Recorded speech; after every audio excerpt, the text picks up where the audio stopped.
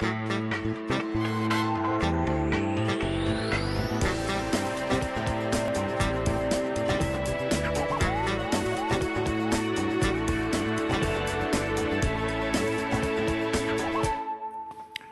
на 26 януари с Култура БГ.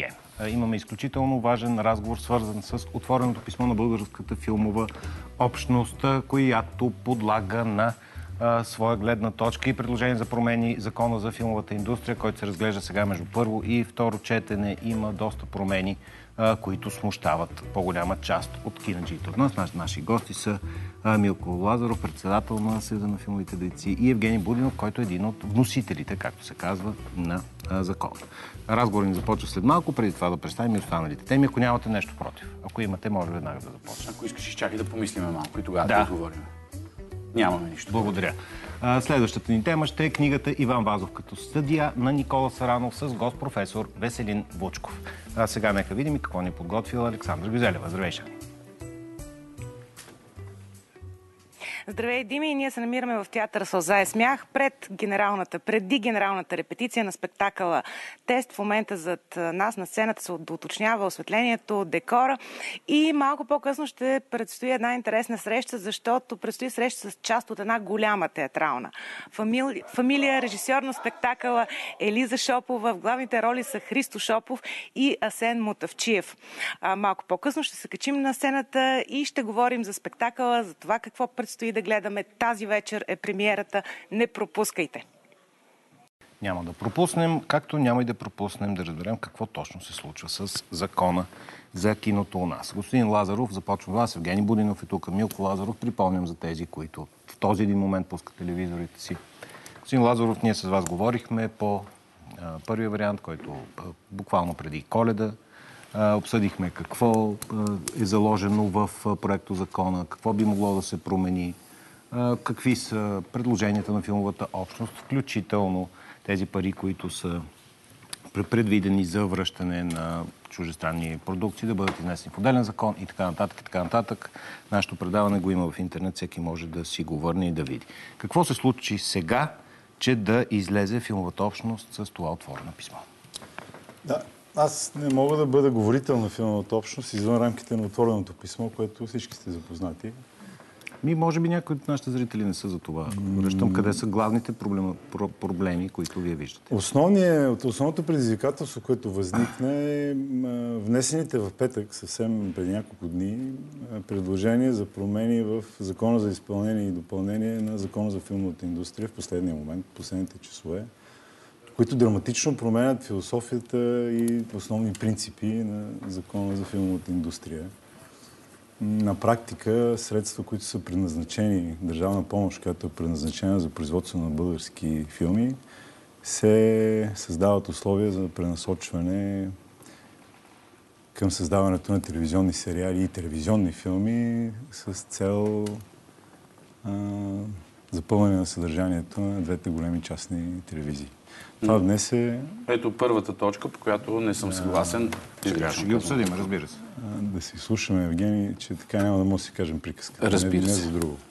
А, да, нарушени са... Аз няма да споря или да водя разговор за различните ни възприятия, философски, за култура, пазари и така нататък, защото е безмислено. Но тук са нарушени, освен закона за нормативните актове, който изисква при големи промени в един закон да се проведе обществено обсъждане и оценка за въздействие на този закон, което в край на кращата е най-важното нещо, как той би въздействал на средата или изкривил средата. Има преки конкретни нарушения на регламент 651 от 2014 година на Европейския съюз, който на практика е закона за регулиране на данъчните помощи в Европейския съюз. Има нарушение включително и на самия правилник за работа на Народното събрание и то конкретно в член 84, който забранява фундаментални, принципни изменения и излизане от обхвата на вече приятия на първо четене закон. Точно с тази цел е заложено много мъдро в работата в правилника за работа на Народното събрание, недопускането на изменения в последния момент, които не са умислени, които драстично тук говорим за една цяла трета схема, която влиза в един закон за филмовата индустрия. Така или иначе, двете схеми, които съществуват в момента, има компликации и напрежение между тях, така наречената схема за стимули и схема за производство на българско кино. Сега се внася трета схема, която е фундаментална промяна на, на закона и законодателно, и философски. Това е основният проблем и филмовата общност в тази си част, мога да кажа, няма да бъдем склонни да се съгласим този закон в този му вид с тези промени да бъде прият. Господин Будинов, искате ли да формулирам въпрос или направо ще влезете в темата? Защото тук има едно усещане, нали, извън факт е, че има така общия глас на кинообщността е, че тези промени не са обсъдени с нас, днес са в последния момент. Има едно усещане за подмяна. Да. Значи, а, понеже говорите за кинообщността, да. Това писмо започва с а, писмо от Обединената българска общност и е подписано от председателите на 11 асоциации. В тези асоциации мисля, че членуват някъде около 150 човека, максимум 200 да е, са. Само мисля, Съюза са 650, това не е вярно. Да говорим неща, които са конкретни. Добре, само но те са подписани от председателите. Докато в киноиндустрията, понеже закона, напомням, че се казва закон за филмовата киноиндустрия, работят около 15 000 човека хора, които изхранват семействата си с, тези, с тази индустрия, със своята работа, със своя талант. В кинообщността не работят само режисьори, сценаристи и оператори. Там има грипаджи, общ персонал, актьори. Смятам, че неистинността в това писмо започва още от Обединената българска общност. Лично от тези асоциации на мене ми се обадиха десетки хора или ми писаха съобщения, че те всъщност подкрепят нашите промени. Самата общност на тези асоциации не е обединена. Знаете, че имаше много скандали през годините. Обществена тайна е, че се взимат около милион финансиране за филми и половината от парите или някаква част изчезват. А, това може би е практика. Казвам, че има такива случаи. Вие се очудвате, не сте чували за тези неща. А, не. Сега искам да разсея някои, а, някои неща а, в а, техните твърдения. Именно, че сериалите ще могат да вземат пари от българското кино. Напротив, ние през цялото време сме обсъждали с асоциациите тези неща. Те помолиха вътре в закона, освен в член 17, който гарантира колко български филма се произвеждат. До момента бяха 7. След приемането на закона ще бъдат 12. Увеличава се парите за българско кино, подчертавам българско кино, два пъти повече. Има в закона предложение, което циментира и, и казва, че първо ще бъдат изхарчени парите за българско кинопроизводство и след това ще минат а, в другите схеми за данъчни облегчения, кеш ребейт и за български сериали. А, аз мятам, че а, това е абсолютно ясно и че закона трябва да се чете точно и ясно, а не както а, дявола нали, чете Евангелието. Добре, но какво? Има, има и, и едно друго нещо, което мене така ме подпали. М- това, че има един член, който наистина е резонно вашето предложение и аз и колегите ми от ГЕРБ оттегляме подкрепята си за това. Предполагам, че и повечето от Комисията за култура и почти мога да гарантирам, че това нещо няма да бъде прието, а Което? именно, че а, когато кандидатстваш за схема за субсидиране на сериал, тогава трябва да имаш договор с БНТ или с друга национална телевизия, с еди какъв си рейтинг. А, и едва ли не ние, политиците, сме се а, съглашение ли беше думата, която пише? Сме се съглашили а, за, за да дадеме тези пари на телевизиите, защото не щеш ли имало предизборна кампания. Нека да наистина а, да, да не се прекъсваме. Просто да говорим, да. защото така хубаво Господин Лазаров, вие казахте да, да се изслушваме. Okay. Благодаря ще се изслушваме, има време, няма проблем. Да, а, няма да казвам, че това е лъжа, но ще кажа, че това не е истина. И а, по този начин а, тези а, пари, ето, а, продължете вие, ако искате. А, сериалите по никакъв начин за какво говорихме всъщност? Говорихме, че оттегляте подкрепата да, си. За, за, за това предложение не ще... Не, напротив, ние нямаме никакво съглашение. Това е едно обединение между народните представители. Когато а, в тази тежка криза не само българския народ, целият свят, не само общността, всички ние се нуждаем от обединение, а не от разединение. Това, което прави това писмо е да разединява гилдията. А, смятам, че не е хубаво. Хора, които работят от 20-30 години в Народното събрание, казаха, че за първ път виждат така допетати от всички сили политически да се обединят за нещо. Защото ние наистина мислим за зрителите, за хората, които ще гледат тези филми. Недопустимо е, например, да има филми, които са спечелили 1 милион субсидия и да имат 150-200 зрители или те да бъдат давани е, единствено един-два пъти да бъдат прожектирани. Тук вече настъпвате наистина има, сериозната тема. Да, има, има много неща, които да, трябва да, да се да. променят в българското имаме, кино. Да. Финансирането на сериалите по никакъв начин, подчертавам и това е заложено в закона, не взима от парите за българско кинопроизводство. Това е съвсем друга схема, от която се финансират от 1 до 35%. Докато българското кино и българските филми се финансират някъде от около 80%. Искам да кажа, че сериалите са една и съща монета. Те са заедно с българското кино. В сериалите работят а, кинорежисьори, да, да знаем. Всички, кои сценаристи, това са кинооператори, киноактьори. Това са едни и същи хора. Благодарение на сериалите те получиха този опит, който могат да привнесат в българското кино. Същото е, когато се работи с кеш ребейт схемата, когато чужди продукции могат да снимат в България. Изпуснахме, знаете, клиенти, защото всички наоколо са вкарали този кеш ребейт. Време е този закон, който е а, прият 2003 година, който е устарял, да бъде подобрен. Аз разбирам, че много хора се дърпат от това нещо. Предимно това са тези асоциации. Може ли само да ви прекъсна, че стана много монологично? Но само а... да кажа, че тези асоциации са хората, които до момента а, правеха художествената комисия, бяха в Национален съвет за кино. Те определяха какви пари трябва да, да се дават за българско кино и след това същите тези хора а, кандидатстваха със своите проекти, което според нас е конфликт на интереси и такива неща се махат, а, има в този закон, които наистина, според мен, притесняват асоциациите, а не толкова а, това, което казват в това много, писмо. Много обаче проблеми засегнахте, господин Будинов, с някои от които, може би, така бих се съгласил до някъде, с много от тях обаче не мога да се съглася. Първо, че 1 милион се дава за 150-200 души. Аз не знам какво точно си говорите и не знам каква е концепцията още за кино днес. Добре, а, но не, не трябва да смесваме. Пак ще кажа, не, не, това... Да. Евгений, извинявай, но това се превръща като разговор с Цецка Цачева. Нали, не може така да се говори. Аз очаквах на много по-друго ниво да водим разговора. Ами, Тук аз мисля, че трябва да го водим откровено. Ние, ние дума за пари не сме обявали. Това нас не ни интересуват величината на средствата. Нас Напротив, интересува принципа на Смятам, че трябва да бъдем искрени. Аз бях в работната група през тези две години и, ви, и винаги, и винаги ставаше въпрос за пари. Имам чувството, че тогава аз бях единствения, който а, мислеше за киното като изкуство и за зрителите.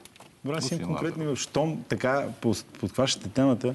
След като сте толкова обединени е, няколко от партиите... Обединение и справедливост, това трябва ще да се изкаже Евгений, какво да, извинявам, да говориш, ще си каже приказката. Да. Това е смисъл на да. съществуването на волята на човек. След като сте толкова обединени около тези предложения, които внесехте, вие направихте ли си труда да направите едно проучване как това работи в чужбина?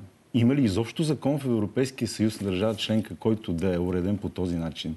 Как се харчат публични средства за на телевизионни продукти. Направено ли е оценка на въздействието на този закон? Направено ли е това от вас, след като сте толкова отговорни? И тук един въпрос ще ти задам а, съвсем конкретен, щом така тръгна разговора. Защо вие толкова обединените партии копирате съвсем напълно становището на Асоциацията на телевизионните продуценти, която е на сайта на Народното събрание. Това може да се види. Тя е копирана във вашите предложения. Правена ли оценка за въздействие? Правено ли обществено обсъждане? Това е много голяма промяна в закона. Вие знаете ли, че вътре има неща, които противоречат директно на регламент 651? Ще дам един пример. Много елементарен пример.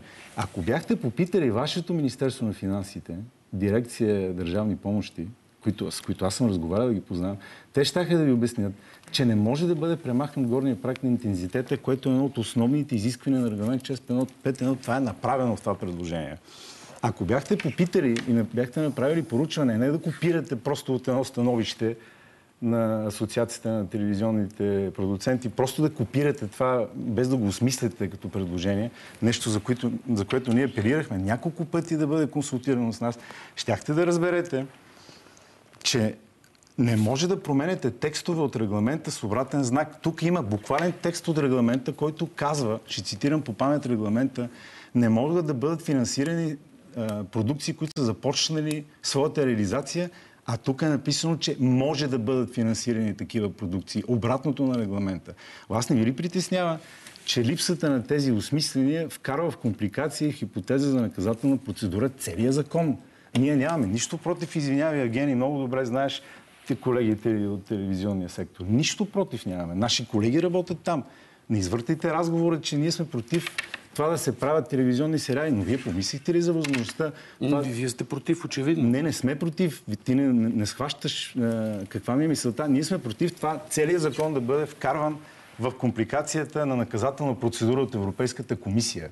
Вие помислихте ли защо това не е закон, в който цялата схема да бъде производство на филмови сериали, каквито са любимите ви сериали по Netflix. Те са филмови, те не са предназначени за телевизия. Е, Защо но- в случая не е така? Напротив, така е. Има културни критерии и тук става въпрос Ами не е за, така. Тук се изисква за сериали, които да има договор с телевизия, за да кандидатства. Тук има изискване продуцента да има договор с телевизия, за да кандидатства Това на е този за конкурс. Стимулите. Не Това е за стимулите. Не е за стимулите. Извинявайте Не. много. Вие говорите малко и, и, и, това, което казвате, не е точно И така. как да не е точно Еми, така? Това е не. консултирано с бивши конституционни съдии. Аз на тях не знам кой ни съветва, но ние в Това момента работим с юристите на Народното събрание и провер- проверяваме текст по текст. Добре, направихте ли работните обществено групи, обсъждане, работните групи Честно те питам. Направихте ли обществено Имаше обсъждане? един месец обществено обсъждане, когато всички асоциации, всички, които искаха, Без да има схема за финансиране на телевизионни сериали, това обществено Знаеш, че в тези работни групи, в които беше и ти, говорихме за телевизионните сериали, тогава те, вие казахте, изчистете тези текстове, имаше, имаше Но те са желание за това. същия Само начин. искам да уточна, Те че тези, закон, тези предложения не са приети. В момента още се работи по тях. Ние а, отново ценим вашето мнение и приемаме, имаме протегната ръка за диалог и нещата, които ви притесняват, се обсъждат много подробно и ще бъдат а, пипнати и ще бъдат префинени и а, неща, които противоречат на тези неща, за които говорите, няма да бъдат внесени.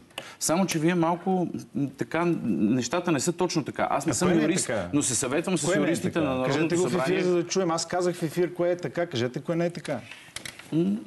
Влизаме в някаква... Ма не, това са конкретики. Нас това ни притеснява, Да се всъщност. върнем към, към писмото и, и, и към тези неща. Добре, нека да се върнем към писмото. Ма това са Нали? основните темели на това писмо, бе хора. Тук става въпрос за предпоставки.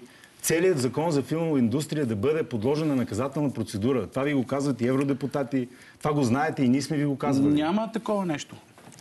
Това за мен Казвам не е това е един юридич, юридически спор, който а, в момента мисля, че другаде... Добре, господин Будинов, не може ли да се научим някакси да говорим на един език? Защото очевидно има проблем в комуникацията. Очевидно някакви неща се случват без да са изкоментирани, без да са отговорени.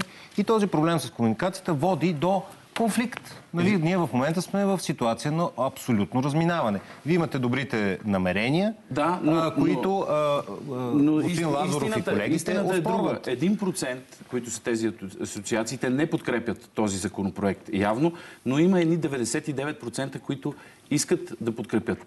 А, тук, според мен, е, е, е важно да се даде шанс. А Искам да се обърна. 1%? Може ли да не се прекъсваме? Ами, може, ако не лъжете, има 1% хора, има е хора, вярно това. Еми, колко... Добре, е, Как нека да бъде... хора, вие на ангро действате с цел закон. Не. Вие да се държите като Вашите предложения хора, са на... които... Искам да кажа нещо за продуцентите в България, които не могат да се а, доближат до помощ на, а, на НФЦ.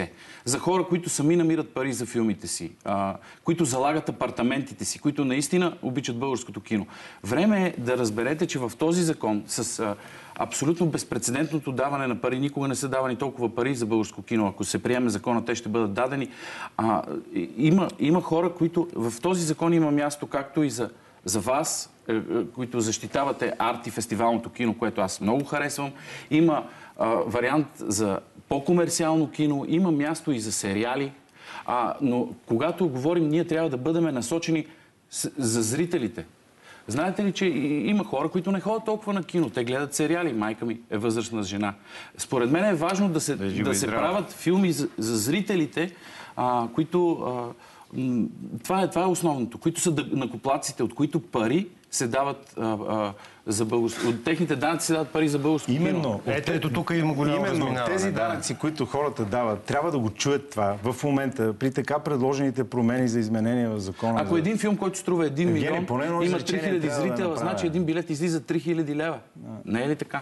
Не, вижте, това са някакви бакалски сметки.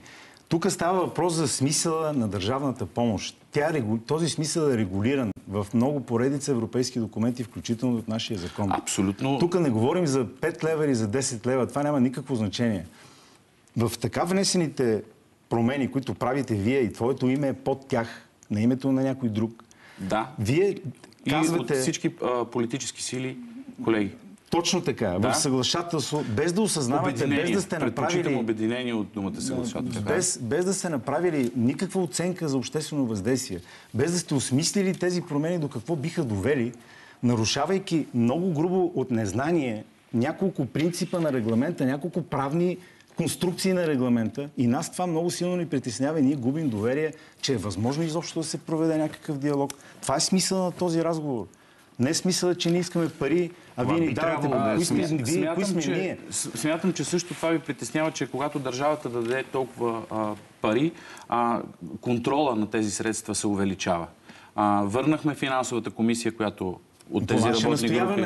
Да, изпълнихме много неща. притеснява което по ние сме настоявали да се- да И бъде. Значи, контрола, върху тези пари и тяхното изхарчване ще бъде много по-сериозен. В тези предложения, които имаме, ние имаме много хубави неща, но вие се хващате за някакви е, неща, които са поправими, за да бутнете целия закон. И аз се чуда за, за, защо как се може прави да не се фанете да ги поправите? Аз съм съгласен да седнем и да говорим. изобщо? Винаги сме били отворени. Милко, знаеш колко пъти дойде в Народното събрание, обсъдихме много от предложенията, които са вкарани, са по ваше искане и те са резонни. Наистина има смисъл в това. Но ви казвам, света, държавата, кинообщността се нуждае от обединение. И мисля, че не трябва да се разединяваме, трябва да се обединиме и да направим един закон, защото е 2021 година. Не може да работиме с закон от 2003 година. как да Вие се това обединим? казвате. Това е, вижте не какво. усещам Депутатите си поемат отговорността, законодателят поема пълната отговорност, включително с изпълнителната власт, която е натоварена с мандата на мнозинството да решават каквото си искат. Ние казваме нашето Общо взето мнение, е така, че каквото и да се реши, ако то се реши в така написаните параметри, които са официално сложени на сайта на Народното събрание с имената на тези депутати, това ще предизвика наказателна процедура. Защо не се чуваме за това нещо? Ние такъв проблем имаме. Чуваме това се. изкривява смисъла на държавната помощ. Нека чуят на данакоплатците, че в момента се създават предпоставки за директно или индиректно финансиране на съдържание на частните телевизии с държавни пари. Това е факт. Не, това предложение, аз пак го казвам, ще бъде оттеглено и няма да бъде прието. Ама за Вие сте се нещо ли трябва да оттегляме? Вие а не искате а да когато- говорите а с нас. Вие не сядате на разговор с нас. Напротив, проведохме много разговори. Казал съм ви го всичкото това нещо и идвайте тук при нас го да се събираме Как да си го говорим? разбирам, бе, Евгений? Ние с това сме ви го казали, вие въпреки това го внасяте. Без да е осмислено, без...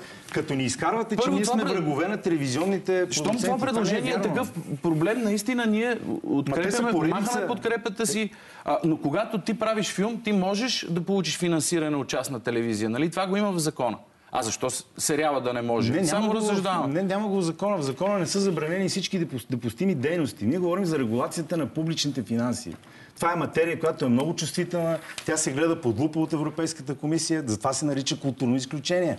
Пак ви казвам, не искам да влизаме в разговори, що е култура и що е пазар, понеже аз знам, че имаме непреодолими различия с управляващите. Моето лично мнение е непреодолимо по-различно от мнението на Евгений, но това е правото на всеки... Това е демокрацията. Е, именно. Аз затова Точно не влизам в този разговор, който е философски. Аз влизам в разговора за законодателната уредба на един закон, по който ние ще работим. Тогава защо във вашето писмо не пишеше член този тът, тът, тът, ами едни гръмки думи как ние предизборно сме се обединили в защита на телевизиите. Ма защо това е така? неистина, Милко. Това не е Защо? истина. Добре, дай ми една причина за този ваш мотив. Вие да вкарате предложение за изменение на този закон без обществено обсъждане, без въздействие, в нарушение на правилника на Народното събрание, на закона за нормативните Не актове съм на регламент Ние, 651. е, е, ние сме на етап, да в който народните представители между първо и второ четене могат да дадат своите предложения. След това тези предложения се обсъждат в Комисията по култура, могат да се махнат, да, да се променят, устно могат народните представители. Това е един процес. Вие се държите все едно този закон сме го а, приели. Не, напротив, ние протягаме ръка, чуваме и вашето мнение, но не само вашето, законодателя трябва да погледне по-отгоре. Освен вашите асоциации, а, има и други хора, които работят в киното. Ма не ни Ние- противопоставяте на другите, ние сме окей с всички. Аз, аз ти казвам, че аз нямам нищо. Наши колеги работят в а, телевизионните вие, сериали. вие, вие сами помежду си не може да се разберете за много неща. Не може да излезете с единно мнение. Това няма лошо, ние всички Тук мислиме по стълбите ти различни. ми каза, няма такава, всеки дърпа на себе си, ние сме много неспокойни. Ами, такива сме, нека, нека тревожни. това, което си говориме по коридорите, да го кажем Ами пред хората. казвам, Трябва да, да ние сме откровени. тревожна гилдия, така е, ние сме такива. Имаме Да, различни и- мнения, ние не сме аз, съюз. аз искам да задам един конкретен въпрос. Щом сте толкова тревожни, а, искам да знам Жоро Чолаков, който е член на управителния Чолаков? да, член на управителния съвет на филмовите дейци. Той има един пост във Фейсбук, в който едва ли не доказва, че 16 милиона, които се дават за кино, ще бъдат взети от сериалите и от кеш рибейта и за българско кино ще, и, а, ще дадат а, 1 милион и половина лева. След като вече 16 милиона вече са един вид изхарчени разпределени от Жана Карайванова от Националния филмов център. Искам да те попитам, Аз да ви не попитам, господин. Лазар, Попитайте Георги Чолаков, защо питате мен? Еми, защото според мен вие трябва, когато той е член на управителния съвет на вашата асоциация, Водили сме този да, да имате едно и също мнение, да бъдете Защо обединени, за да ви послушаме Ние ние. сме а, армия, която, напротив, Жоро си има различно мнение от моето мнение. Не, Защото трябва да излезете с едно... Не подкрепяте това мнение. Кое Защото- мнение? Аз не съм го чел, тук Да, чувам от тебе но аз казваш. искам да убеда хората... Кое мнение не подкрепям Не, конкретно? не, неговото мнение, не съм пост, не знам, Жоро, какво че- е казал. че Сериалите ще вземат парите и кеш рибейта ще вземат парите на българското кино.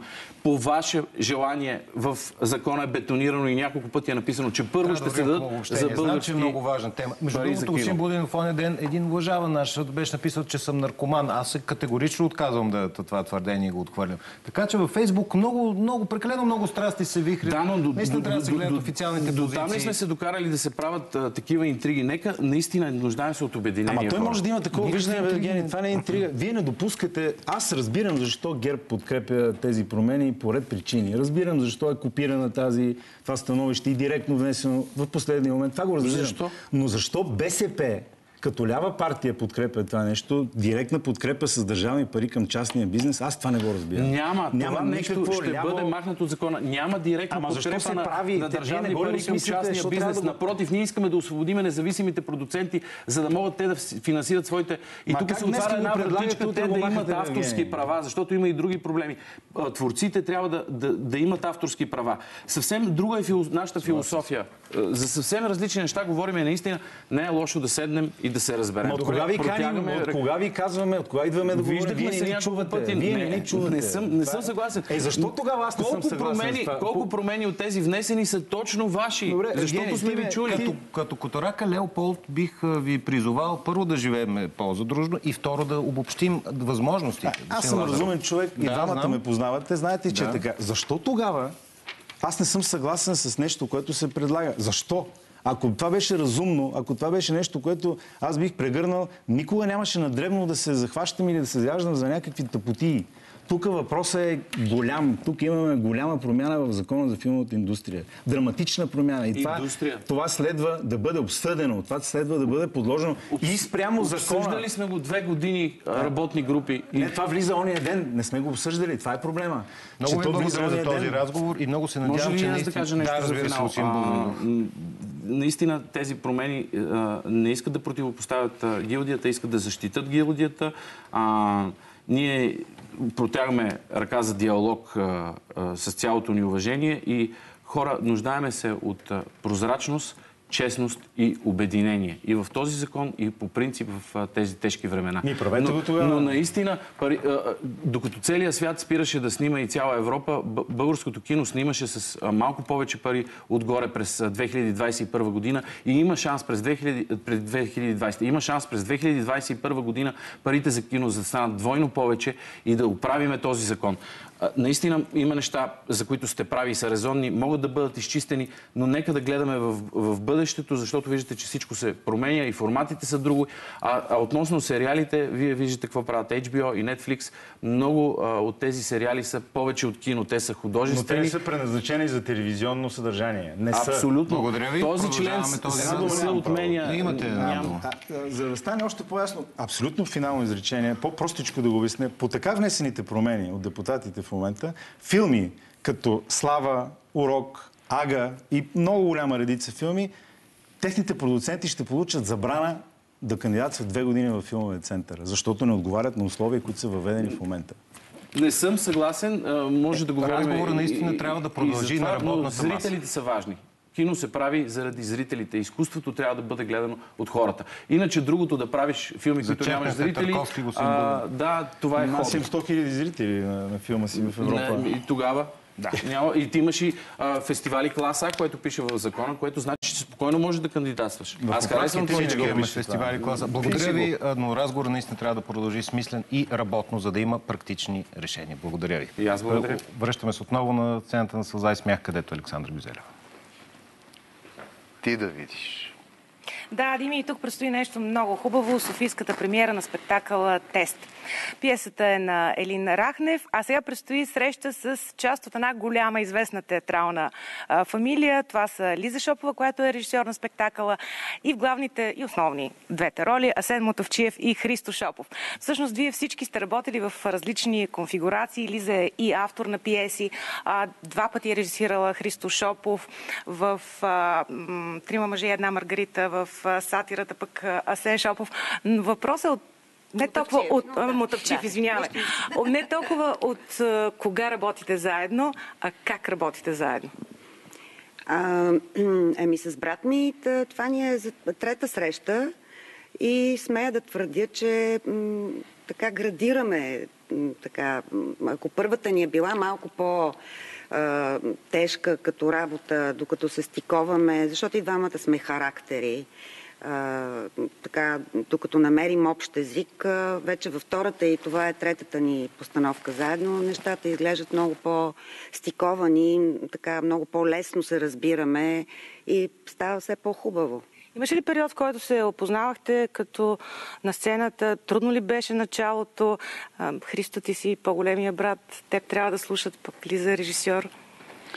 Не, Лиза каза много ясно. В началото наистина малко трудно тръгнахме, но със всеки след, следващ път става все по-добре.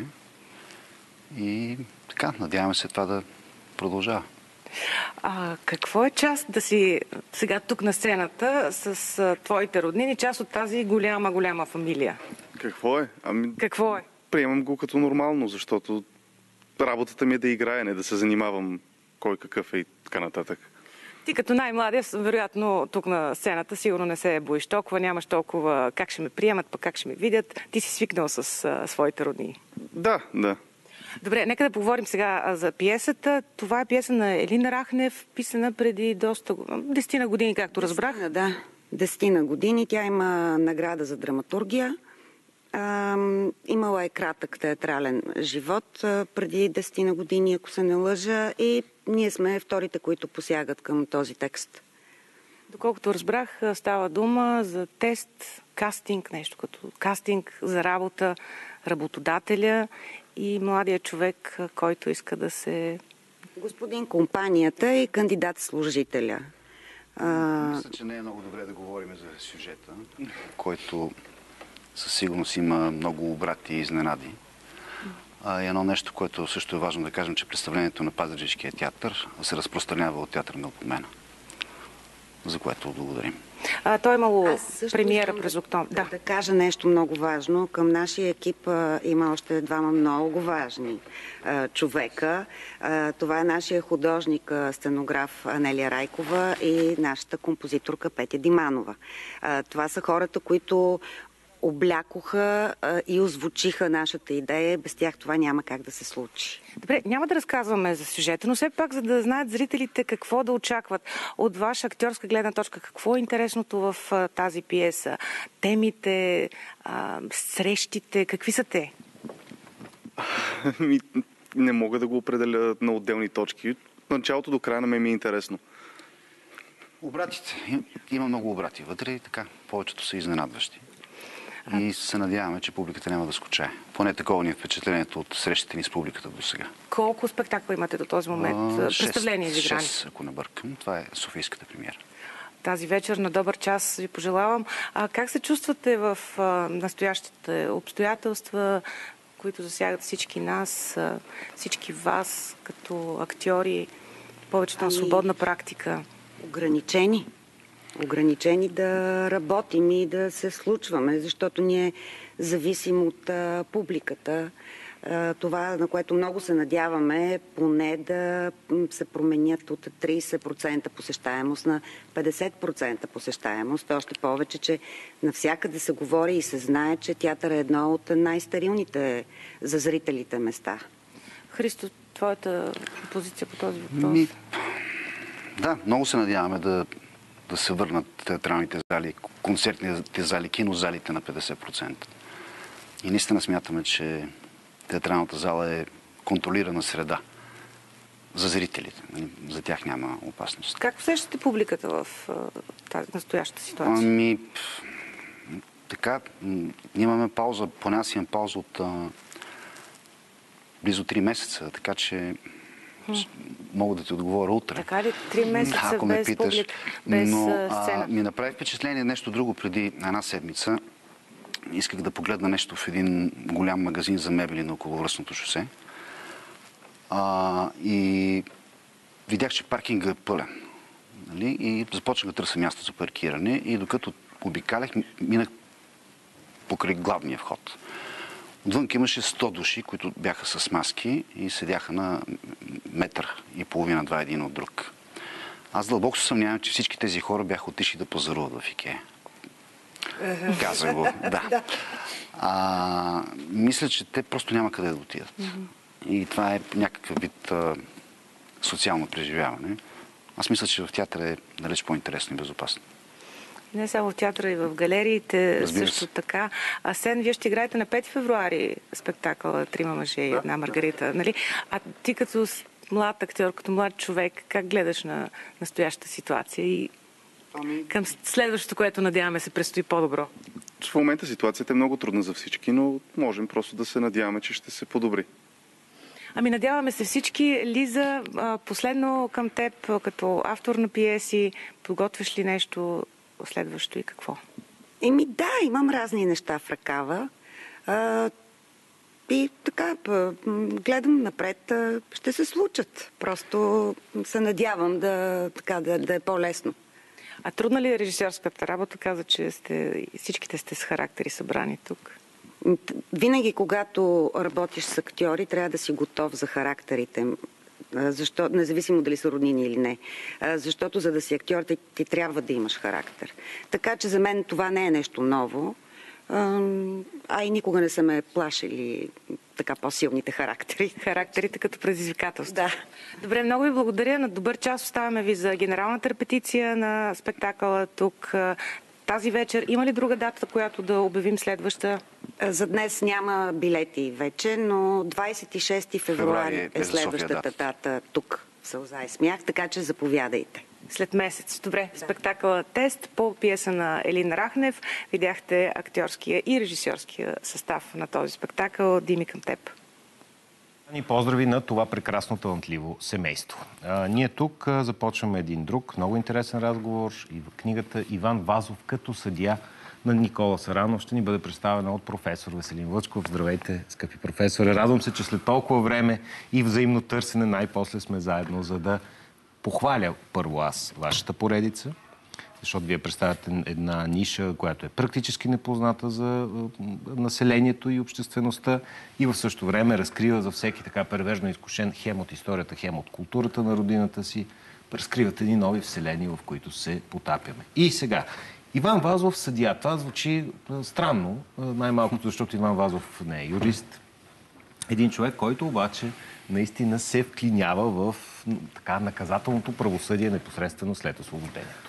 Да, а, всъщност той нарича себе си и тази група на юристи, които правораздават не- непосредствено след освобождението, импровизирани юристи. има го и в книгата. Ами всъщност към датата на освобождението България няма отгледана и изучена интелигенция. То не само в правото.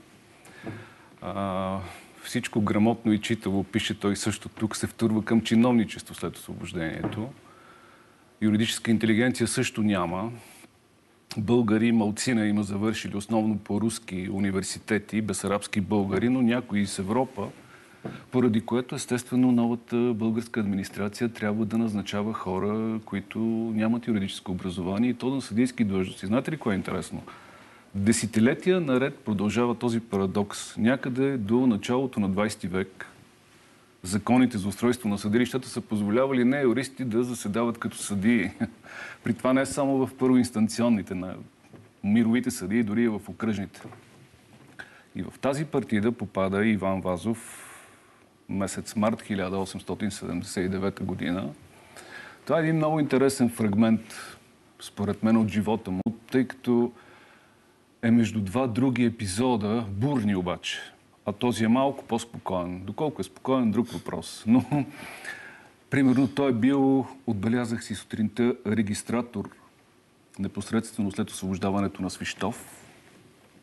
Новият губернатор Найден Геров го назначава на много ниска чиновническа длъжност, регистратор. Впрочем, заедно с Алеко, макар че след години ще се противопоставят по политическа линия. А като когато руснаците освобождават Русе, е назначен, обърнете внимание, за чиновник за особени поръчки. И тогава идва предложението на министра на правосъдието да го назначи за съдия, при това в град Берковица, при това за председател на току-що конституирания окръжен съд. Тоест малко след освобождението, бурни години, година и половина е съдия до есента на 1880-та, малко знак на протест, мога да кажа след малко напуска, поема към Пловдив, благодатни години за негово творчество, след това иммиграция в Русия. Но този малък фрагмент от живота, година и половина, е много ползотворен за бъдещото му творчество. И той успява да вплете много герои, които срещат там. Много сюжети има, Много които откриваме сюжети, от да. именно тази юридическа авантюра, да я наречем на Иван Вазов. Точно така е, да. Всъщност това е неизбежно, когато решаваш правни спорове. Бер... Има страшно интересни случаи. Опишете някой от тях, който лично на вас така най-много ви е направил. О, има един, който е известен до края на живота му. За съжаление, язвително коментиран и той го е преживявал това. Той има една единствена смъртна присъда, произнесена като председател на Берковишки окръжен съд, но за, може би за а, така смягчаване на отговорността на съдията Вазов мога да кажа, че е бил съдебен състав от шестима съдии и съдебни заседатели. Всъщност осъжда на смърт едно куче. Заради това, че е удавило 19 ерата и ягната на един берковишки селянин. Тук в книгата на професор Никола Саранов сме а, поставили факсимилета от самата присъда. Когато професор Саранов е писал този текст 43-та година, много е искал да намери тази присъда като оригинал. И знаете ли кой му я дава? Елин Пелин, който е уредник на къщата музей. 40-те години тук в София. Къщата, където и умира самия Иван Вазов. Това е съдебна грешка, разбира се, но професор Саранов в тази книга някак си стъпва в ролята на защитник на Иван Вазов. Знаете ли колко убедителни аргументи нали, вплита в своя текст? Така че малко да омаловажи вината на Иван Вазов заради това, че е осъдил на смърт едно куче. Но Алеко Константинов 20 години след този случай в своя вестник Знаме публикува много язвителни антрифилета срещу Вазов. Чели сме ги всичките и това Точно е наистина така. много и... смешно. Да. Това обаче, понеже се явяват в, различни политически лагери и според мен това е причината за такова противопоставяне. Независимо от всичко обаче, по-голяма част от делата, които е водил Иван Вазов като съдия, този период от година и половина, са решени много справедливо. Тогава е действал все още отоманския наказателен закон, който е неотменен. Има едни временни правила за устройство на съдебната част, които обаче съдиите много-много не са ги познавали в интерес на истината. И са съдили според местния обичай, българският обичай и своето вътрешно чувство за справедливост. Иван Вазов това го е постигнал в своята кратка съдийска кариера. Да, това е една класическа Соломоновщина на новата интелектуална класа, която се а, заражда след освобождението и която наистина за няколко десетилетия ще се превърне в една е, европейска е, класа и образователно, и като присъствие в Категорично е така. Аз специално в момента изследвам юридически елит на България от освобождението до 1944 година. Преди година издадохме една на издавана в България книга на професор Никола Долопчиев. България превръщането в сателит. издателството на да Нов български университет. А, в момента подготвяме до месец-два пак издателството на МБУ Живота и здраве ще издадем книга на един от най-известните, може би и най-известния българин в България. До 1944 година юрист. Това е Светослав Велчев. 12 години е бил главен прокурор при ВКС и 6 години първи председател на Върховния административен съд. Умира 1943 година.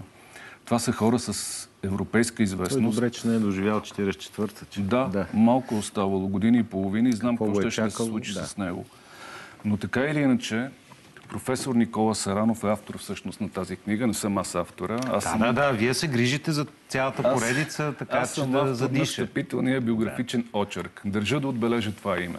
Професор Никола Саранов. Професор е- Никола Саранов, всъщност той е видно във всеки, който влезе. Това е една по-скоро научна студия или е изследователска работа, която вие сте превърнали в една много стойностна книга. Нали? Като стойностна част от тази принципно стойностна поредица, да не се повтарям. Благодаря ви. Наистина дано е така. Има интерес към книгата. Ето това е Иван Вазов в униформата му като съдия. Единственото, което липсва е червената фуражка. Той много е държал на униформата си, дори малко ирония има вложена от някои приятели. Той е бил наричан председателят с червената фуражка, понеже ходил в делнични дни само с фуражка, обшита с червени шарени гайтани, а в празник с сабия, прикачена през рамото, с червена 4-5 пръста широка лента, шинел с лъскави металически копчета и пагони. Красота. Благодаря ви, професор Вълчков, че бяхте тук, за да представите тази книга. Прекрасна Никола Саранов, Иван Вазов, като седя, чакаме следващите Благодаря, но произведения. все пак да изкажа благодарност на снахата на професор Саранов. Благородно ми предостави достъп до архива доцент Емилия Саранова и моят приятел доктор Павел Смолички, колега, който подпомогна издаването на тази книга. Сигурен съм, че който прочете книгата, ще усети Иван Вазов много по-разбираем, много по-многолик и, много, по-близък до, себе си. Точно така. Благодаря. Благодаря ви, професоре. Продължаваме с културни предложения за днешния ден.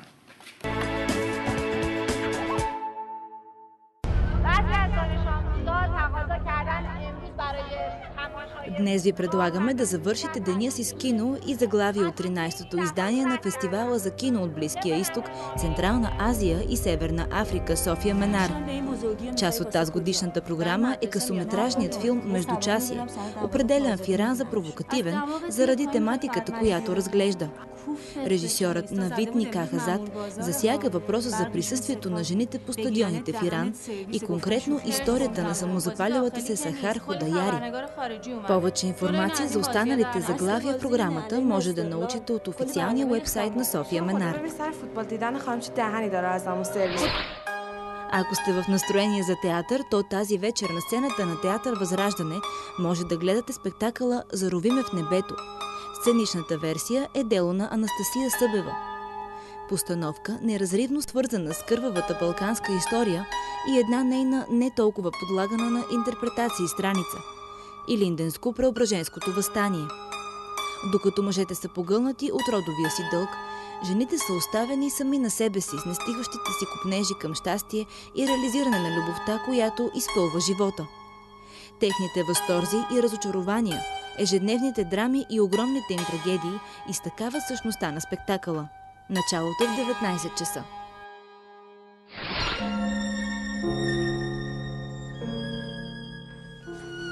Аз не съм твой равин, не съм твой психиатър, В театър баща. 199 може да гледате постановката Червено по текст на Джон Лоуган и под режисурата на Владлен Александров. Пиесата представя епизоди от живота на художника Марк Ротко. Когато е 18 годишен, заминава да живее в Нью Йорк и се отдава на живописта. Ходи на курсове, заобикаля се с бохеми, жадно чете митология и философия. През 1958 година той получава изключително примамлива поръчка да украси с картини стените на най-луксозния за времето си ресторант в Нью Йорк – четирите сезона. И някъде тук започва историята на неговите платна в червено. Вижте продължението днес от 19 часа и 30 минути. Усещате някъде вътре в себе си особено празнично настроение, то е защото най-вероятно днес отбелязваме 130 години от рождението на професор Димитър Гюдженов, познат като художникът на великите българи. Вижте повече. Хан Тервел и Юстинян. Крум взема главата на Никифор. Цар Симеон – златният век на българската писменост. Това са само част от картините на художника професор Димитър Гюдженов, изобразил в платната си ханове, царе и важни моменти от историята ни. Димитър Гюдженов е роден на 26 януари 1891 година в Стара Загора. Наследил таланта на баща си, художника Атанас Гюдженов, той завършва живопис при професор Цено Тодоров в Художественото индустриално училище, днес Национална художествена академия в София. Учи два семестъра в Чешкото национално училище за изящни изкуства в Прага. Започва професионалната си кариера като военен художник в щаба на 8 пехотна дивизия. По-късно се занимава и с стенописи. Той, заедно с професор Никола Кожухаров, изписва Старозагорската църква Свети Димитър и Варненския православен храм Свети Николай. Негови стенописи има в много от храмовете на Бургас, Пловдив и Черпан. Освен художник, Димитър Гюдженов е уважаван преподавател. Между двете войни той е професор в академията, а сред учениците му се нарежат художници като Стоян Венев и Петко Задгорски. Награждаван е средица български и чуждестранни отличия, а негови произведения притежават няколко държавни институции – Националната художествена галерия, Военно-историческият музей, Софийската градска художествена галерия. Димитър Гюдженов завършва земния си път на 25 август 1979 г. в София.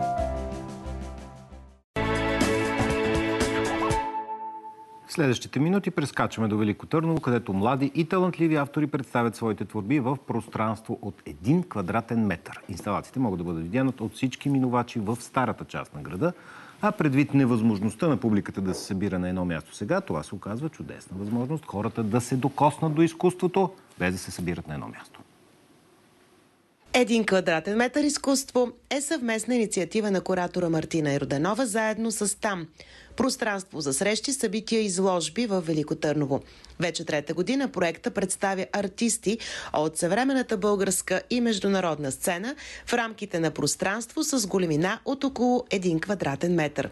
Вдъхновен от концепцията Бял куб, проектът дава възможност на млади и утвърдени автори да покажат свои творби в една нестандартна изложбена среда.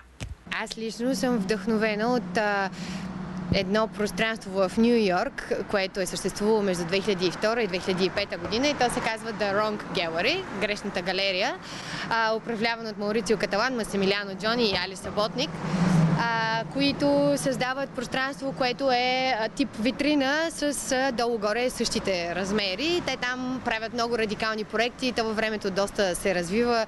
Има участие в Tate Modern, след като е затворено.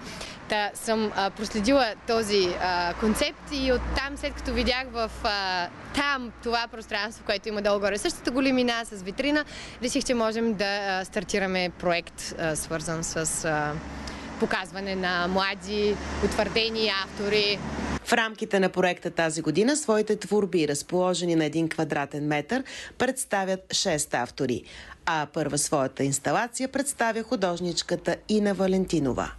И като цяло имат, а, има всякакви варианти как да се развие проект в толкова, толкова мъничко пространство. А, ми това е което се сетих първо, като ми казаха за пространството и ми пратиха снимка как изглежда самата котия. А, беше свързано с а, така наречените curiosity boxes или wonder cameras. Или, това са едни пространства в музеи, които, например, може да се забележат в по-западните държави, като Холандия, в които има различни а, обекти от примитивни народи и култури, които са им по-непознати. И, а, и са събрани много малки предмети, които са странни за западните хора и не са много ясно четими като функция. И са изложени в така наречените малки камерки или малки кутийки, стаички. А, и всъщност се образува една цялостна инсталация. И това беше пък нещо, за което се сетих, когато ме предложиха да направя проекта. Арт-инсталациите могат да бъдат видяни от всеки минувач, който се разхожда в старата част на Велико Търново, което дава възможности на авторите и на публиката да се докоснат до изкуството, без да се налага да се събират на едно място. Действително този проект, който в момента зрителите ще видят е мислен а, с идеята да може да бъде показван и в а, тази странна ситуация, в която всички ние в момента се намираме. Сега това е една витрина на улицата, която специално сме подбрали така, че да могат хората да присъстват и да консумират изкуството, без да има нужда а, да се събират на едно място и нали, да са в разрез с всички мерки, които а, са необходими и важни в дадената ситуация. Проектът Един квадратен метър е подкрепен от програма Визуални изкуства на Министерство на културата и продължава и през следващите месеци с представяне на още млади и талантливи български автори.